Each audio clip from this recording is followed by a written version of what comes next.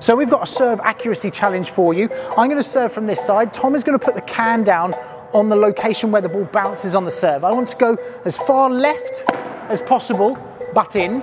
And then my objective is to see how many I can get moving right to the court. But I've always got to hit the serve to the right of that cone.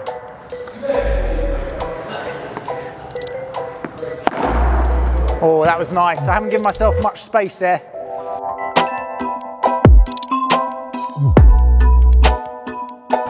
Haven't got a lot of court to play Getting with. shorter and shorter.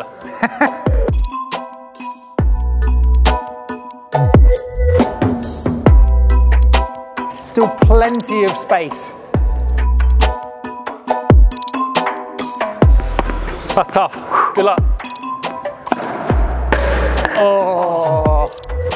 See if you can get 10 moving the way across the service box.